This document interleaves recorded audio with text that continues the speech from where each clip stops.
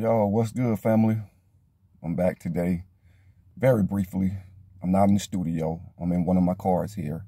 Just want to talk to you guys very briefly about marriage. Some of the what to do's, what not to do before you say I do. Some of the do's and not to do's before you say I do.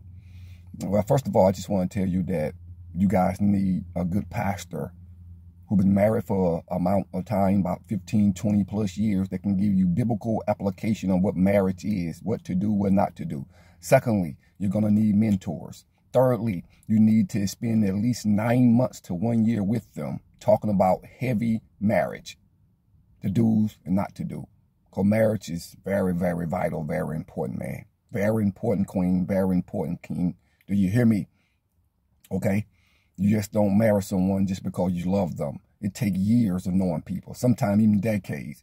So when you first get married, you put your you put your best foot forward, right?